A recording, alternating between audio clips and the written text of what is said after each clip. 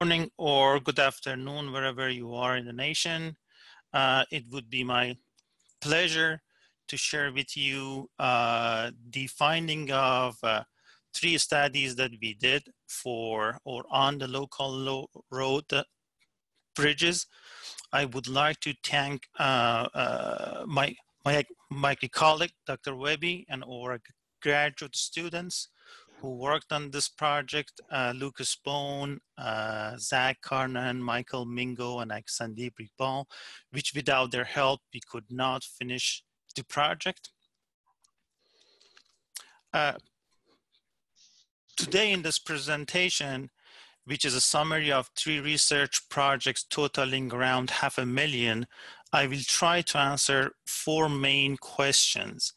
And question number one is, what are the common bridge types on South Dakota local roads? And how to load rate a damaged double T bridge or a bridge in uh, basically general, how to rehabilitate the longitudinal joints if they are not performing well, and what would be the best alternative that has been proof tested and good to be used on local uh, roads. Uh, again, I would like to thank our sponsors, our main main sponsors were South Dakota Department of Transportation and Mountain Plains Consortium, which, which is another uh, or basically a regional UTC center and uh, many industry partners. Again, without their help, we could not finish these projects. So I would really appreciate uh, their, their direct support. Let's, let's talk about our first question. What is the common type of bridge on South Dakota local roads? And the answer is double T. Double T is not the only one that is used here in this state. I've seen also it has been used in other, other, other states extensively on the local road. Uh, in the South Dakota, we have more than 700 of those in service and what we have found that uh, is 75% of those double T bridges are 20 years old or older. So that's the time that we need to figure out what to do if they are damaged. And another finding of these studies was uh, we've seen structural detailing, aging, and cold condition weathering, and bad detailing also uh, changes how they perform, and how uh, the uh, live load capacity of these bridges will change. Here is actually one, one actually example. One, one common uh, damage reported for double T bridges is the reflecting is the reflective uh, basically cracks between the girders. Here is one actually photograph. You can see one girder A and B and you can see a continuous uh, and long cracks along the length of the bridge. And uh, Dr. Wehbe tested uh, a 40 feet uh, double T bridge using conventional joint that is currently used in, in the practice. He applied vertical force using actuators on one of the girders and pushed it down and what was found that the joint is not sufficient and cannot transfer to load from one to another. And here is another proof uh, that these joints are not structurally viable.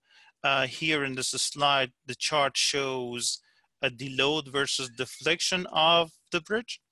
And what is obvious here is the force deformation of the two girders are not consistent and one girder, the loaded one, got all of the loads and another one did not. So that one shows that the joint is not structurally sufficient.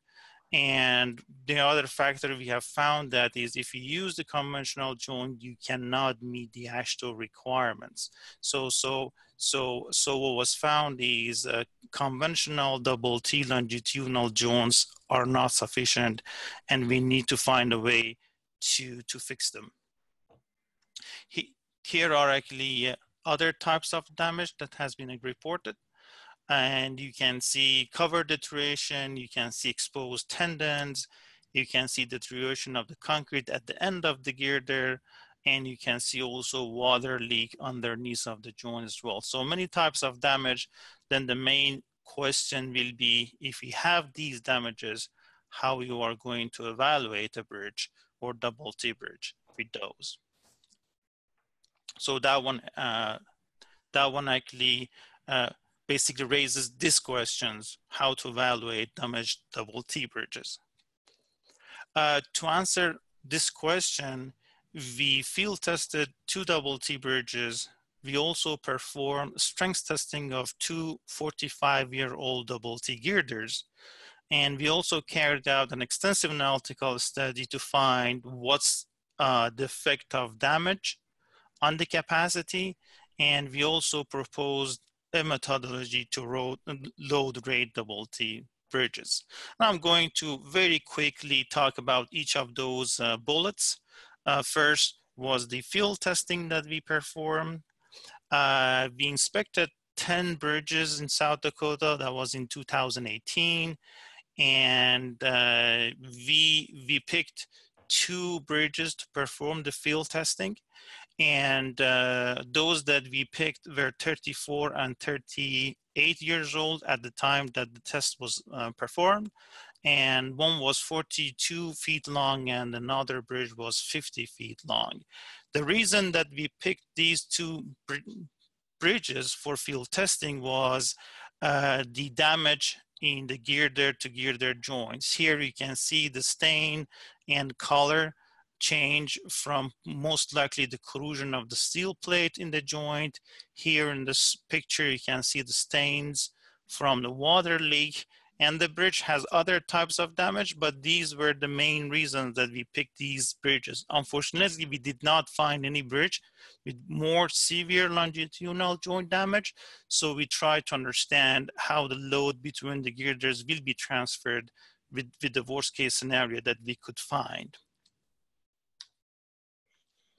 And the way that we performed the testing was uh, we used a dump truck and we loaded uh, uh, with 50 kips. We performed both static and dynamic tests. The static tests were carried um, were carried out by having a truck speed of five miles per hour and dynamic test was initially we take 55 miles per hour, but because of the local road condition, the gravel condition, and the safety of the crew, we can reduce the speed from 55 miles per hour to 35. That's how we perform our dynamic um, testing. I also want to mention that the depths of the girder in one of the bridges was 23 inch and depth of another uh, girder in the second bridge was uh, 30 inch. These are the typical depths that are common for double T bridges in South Dakota. Here's actually video of a dynamic test that was performed. So essentially the truck passes the bridge and the bridge was heavily instrumented uh, with strain transducers and we try to understand how load will be transferred. Here in this chart or in this slide, you can see uh, girder uh, distribution uh, basically factors for the moment. And the graph is just uh, the graphical uh, presentation of what you can see in the table. What we have here is the girder number uh, versus the girder distribution factor. What, we, what was found that uh, the current AASHTO method is sufficient to be able to estimate how the live load will be distributed between the girders. When the joints are damaged, we, call the damage condition state three. I'll talk about it uh, short. But long story short, if your uh, damage is like the those two pictures that I actually showed, then you can conservatively use AASHTO to estimate the girder distribution factor. We did the same thing for another bridge, same conclusion was, uh, uh, was, was seen or actually observed. And we also did for the shear and same conclusion again was seen there as well. Uh, so, so whenever the joint is damaged with condition state three, we have four condition state. One is uh, good, no damage, and four is the worst case like scenario. For longitudinal joint, if the condition state is three, uh, you can use AASHTO. And we also performed basically strength testing on two old double T bridges.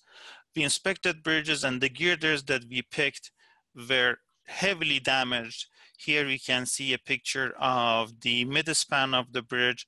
Longitudinal joints were exposed, concrete were gone. We brought these, these girders to lab and uh, we tested them to failure see how much or uh, what's the effect of these kinds of damage on the capacity of the girders.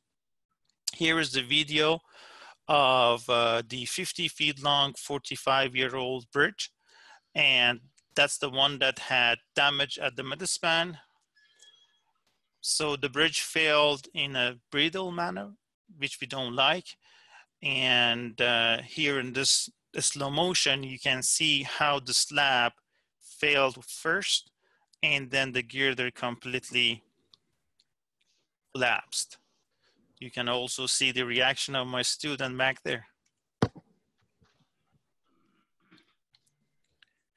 So we post-processed data and what was found is uh, this slide shows force versus deflection at the midspan of the bridge.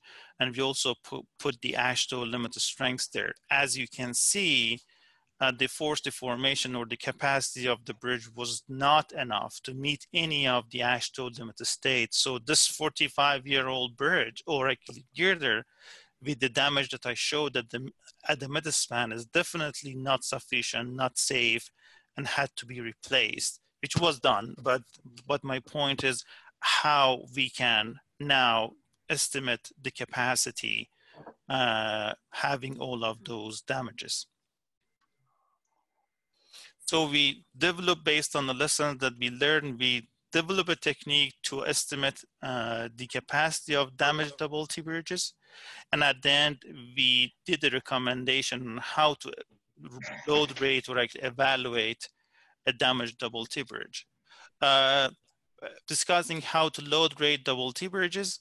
Uh, the equation that you can see here has three, three components, uh, the capacity component, uh, dead load, and live load component. We cannot touch uh, the dead load component. However, based on the lessons that we learn, you can update and adjust live load component, for example, to calculate the girder distribution factor when the condition state is three, uh, you can use AASHTO. And then if the condition state is four, you, you have to go with the biggest of the factors of exterior, interior, and 0.6. So based on the test that we perform, you can uh, update the live load component. You can do the same thing for the damage and what was recommended is you need to know what's the capacity of undamaged um, girder moment and shear factors and then updated or adjusted based on the damage that you will observe. For example,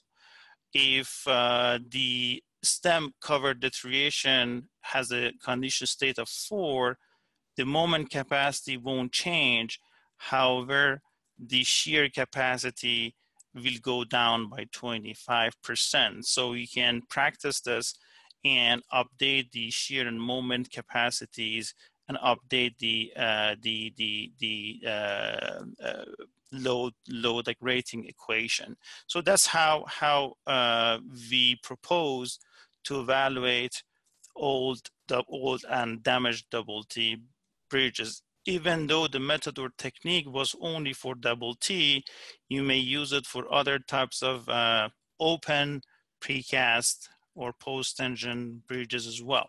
So that one ends up to the basically second question I had.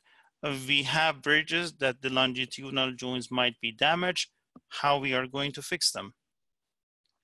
To answer this question, uh, we uh, developed 20 rehabilitation alternatives and we uh, tested 13 large scale beams, we performed finite element analysis, And then we tested the 40 feet long conventional, then rehabilitated and like retested.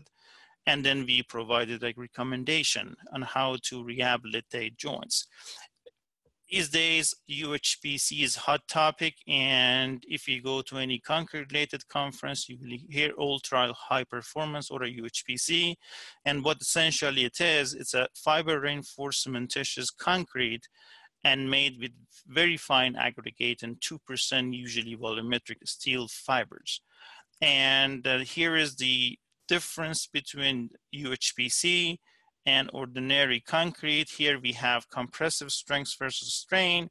You can see that UHPC has five times higher compressive strength and usually five times higher ductility than conventional concrete. So it would be a good uh, option or material for rehabilitation or retrofit purpose.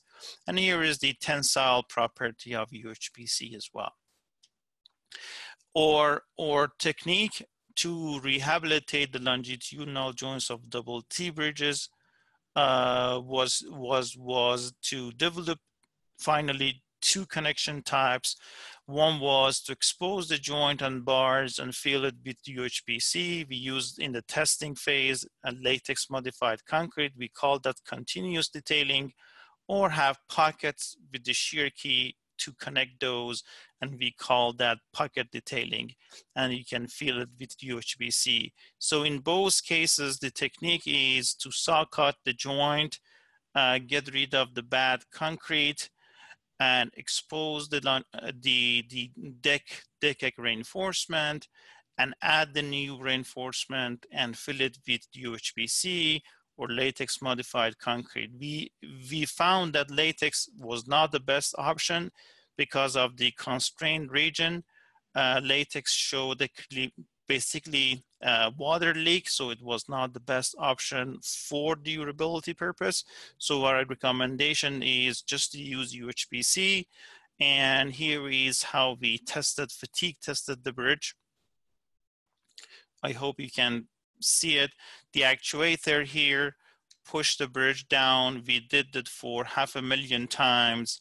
And when the bridge was like rehabilitated, we did the same thing to make sure or understand if the gear, if the loads will be transferred between the girders when they are rehabilitated.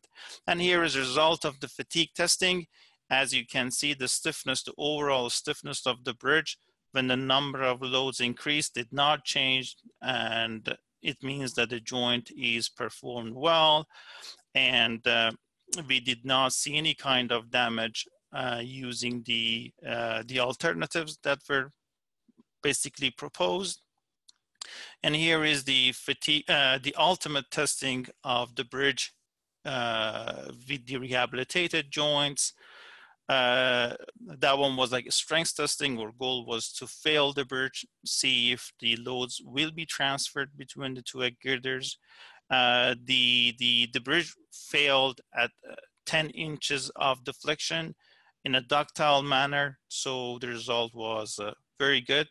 And uh, what was found here in the next slide, you can see the damage of the bridge at the failure of the girder. Uh, the girder failed at the top flange uh, by the by the failure of the concrete. However, the failure was ductile. You can see a large, larger crack at the midspan of the bridge. Here is the overall condition of the bridge, and here is the UHPC joints. As you can see, uh, at the failure of the girder, there were only a few hairline, basically cracks on the joint, meaning that the joint did its job, hold the two girders, transfer the loads between the two girders, and uh, girder itself failed, not the joint. So the proposed rehabilitation method was viable. Same structural performance for the latex, but because of durability issues, we are going to say only use UHPC. And here is the behavior of the two girders uh, tested, girder A and B, loaded and unloaded. And you can see that the behavior is more or less the same, meaning that the load was transferred between the two girders and joint performed as uh, it was intended. And we also did a cost estimate. The pocket rehabilitation method will cost you around 30% of the bridge replacement and the continuous joint costs you around 60% of the bridge replacement. And here is our final detailing. If you would like to rehabilitate the double T using the pocket connections, uh, this is the final detailing that you need to follow. And we would like, uh, uh, we, we talked about load rating and we also talked about rehabilitation of double T bridges. Uh, but the question is, if none of those work, how about if we want to replace a bridge? What other options that we have and is there any proof tested options? And that's what we did here. We performed literature review. We found 10 alternatives that could be used for local road bridges. And we tested uh, three full scale bridges to failure to prove their performance, a 50 feet long, fully precast bridge, 50 feet long girder timber bridge, and, and 16 and a half long slab timber bridge. And we provided recommendation at the, at the end. I'm going to very briefly touch each of those, the constructions first, and then the results of the testing in the next in the next actually portion of the presentation. So here is the uh, uh, the, the the test specimen for the precast bridge. Uh, for local roads, a two lane and two shoulder bridge is very common and the span lengths between 40 and 60 feet is very common too. So we assume the 50 feet long, 35 uh, feet wide bridge as the prototype model. We use two interior girders of the bridge uh, for testing. The test specimen was full scale consisting of 250 feet pre-stressed inverted double T girders, uh, inverted uh, T girders, five precast panels, each 10 feet long.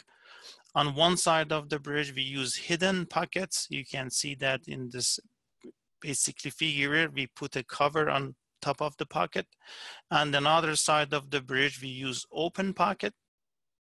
We, we also use uh, head at the studs and inverted U-shaped bars uh, to connect the panels to the girders.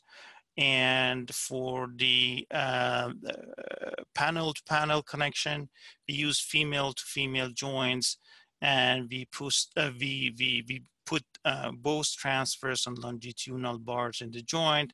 And at the end, we filled the joints with, with a conventional uh, concrete and also latex modified concrete as well.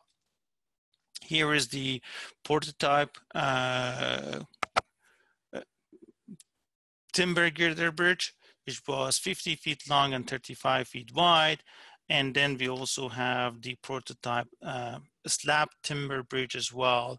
And these will, these will be a good options for local roads with low uh, traffic, uh, which are usually used on the farms or to connect the local roads. Uh, let's talk about the uh, the the the uh, test specimen of the timber bridges that we did and the issue that we found there. The test bridge was a full scale consisting of three interior girders and 13 panels.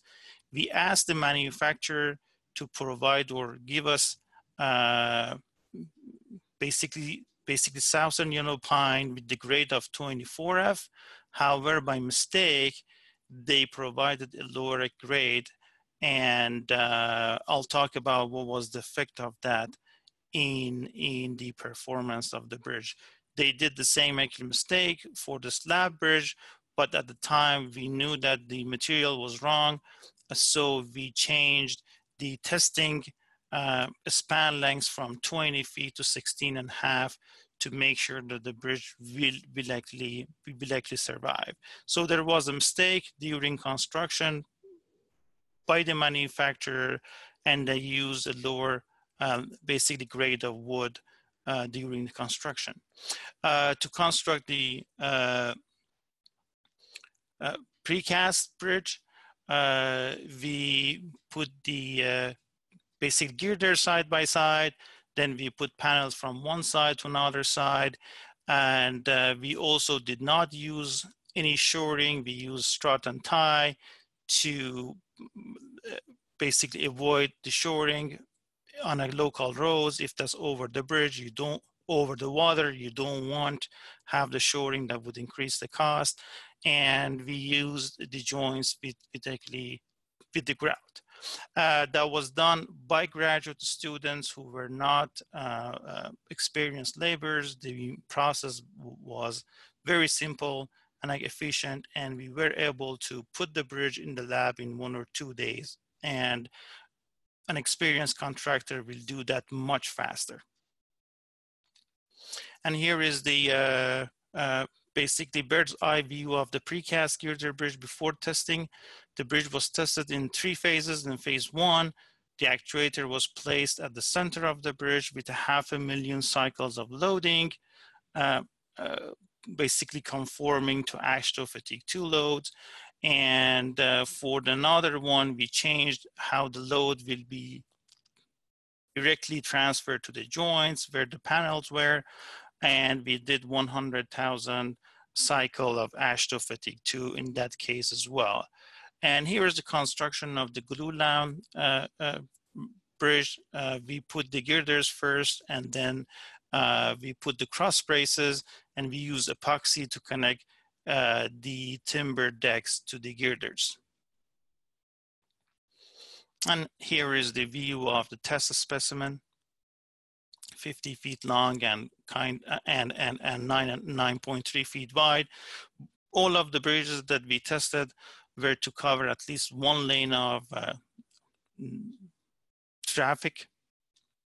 And here is the test specimen for the uh, slab timber bridge. And to be able to connect the two panels that we had, we used uh, stiffeners underneath of the bridge and we bolted those stiffeners to the uh, decks to make uh, the entire deck, deck uniform. And here I have a video or two videos of how we perform the testing on the timber bridge.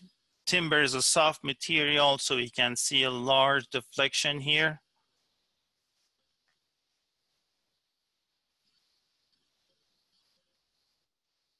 And here in this one, you can see how the fatigue testing was done on the precast concrete bridge you cannot see the deflection, but you can see the reflection of the lights on the water dam. These water dams were to see if there's any leak on the joints. And based on the testing and post post post actually processing, let's talk about which of these options will be the best for the local roads. For the precast bridge, this graph shows the number of loads versus uh, bridge overall stiffness. After half a million of fatigue loading, the stiffness of the precast bridge remained the same. And that one means that there was no deterioration in the system compared to conventional double T, the ones that I showed earlier in the, in the presentation.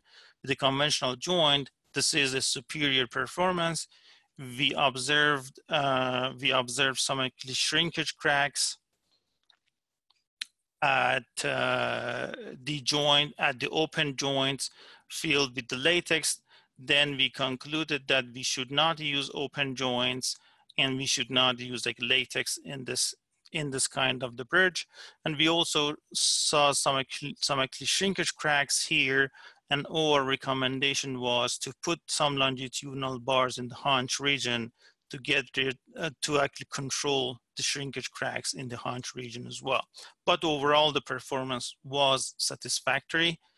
We also performed strength testing on this bridge. You can see a load versus deflection response here, and the bridge did not fail at three times uh, the AASHTO strength limit state and uh, we could not fail the bridge. So the bridge also met all of the AASHTO requirements under strength testing as well.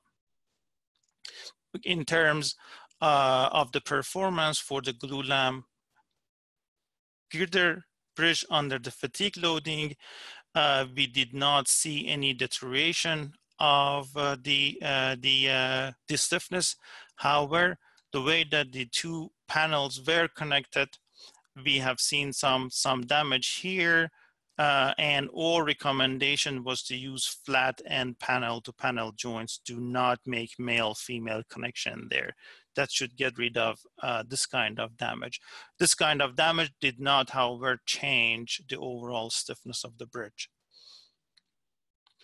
And we also found that if you want to design a timber girder bridge, you have to assume uh, a fully non-composite condition or strain profile, the major strain profile clearly showed that the strain at the bottom or at the top of the girder and bottom of uh, the panel are not compatible. So we have to assume, or it's safer to assume that uh, strain is not compatible and we have to go with uh, fully non-composite uh, behavior to design the girder itself. Here is the way or failure of uh, timber bridge.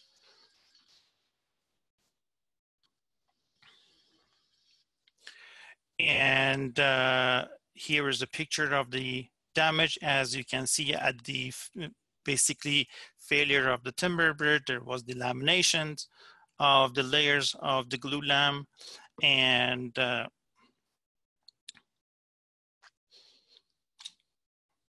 and that's how how how two of the girders of the three uh, failed for the timber uh, girder bridge.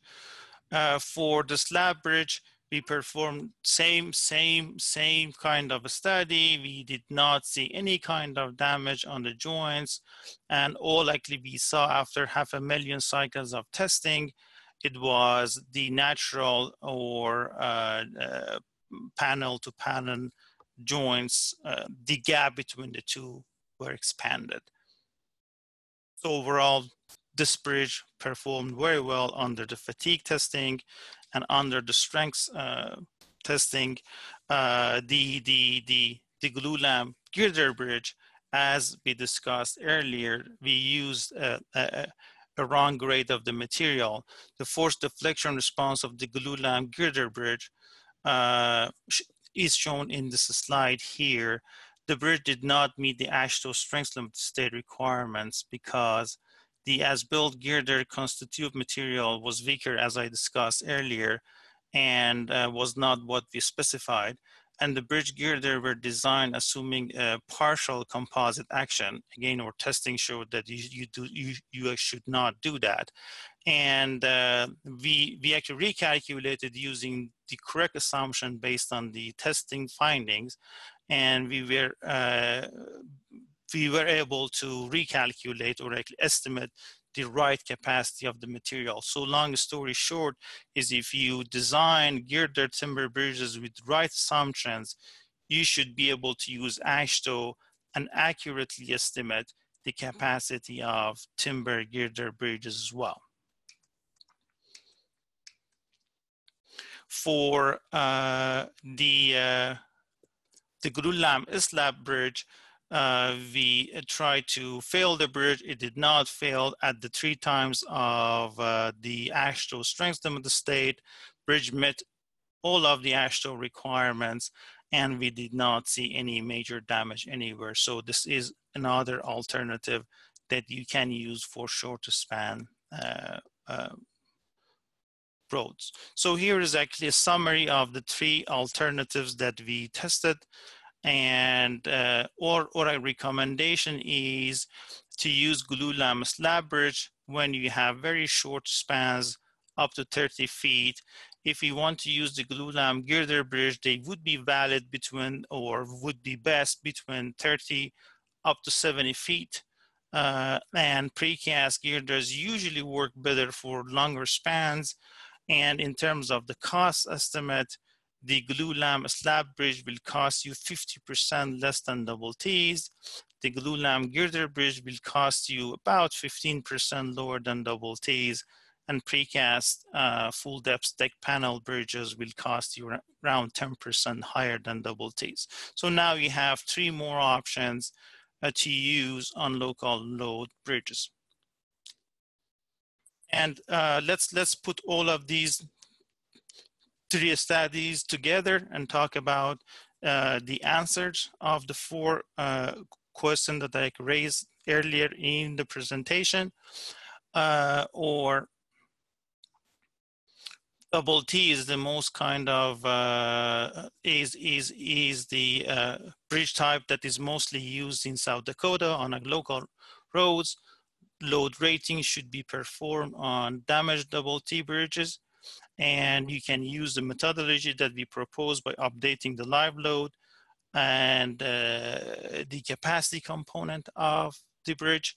UHPC field uh, pocket connection is the best to rehabilitate longitudinal joints of double T bridges, even though we haven't tried or tested this for other types of um, precast girders, but it might be a suitable option for those, let's say if we have a box, uh, box a girder, uh, and if their joints are not well, you might be able to use UHPC field pocket connection to rehabilitate those as well. And now we have three new bridge alternatives to, to replace uh, old or damaged double T bridges. Uh, as I said like earlier, this was a short summary of three research that we performed. Uh, you can find, if you're interested, the full report of these studies on the uh, Mountain Plains Consortium website,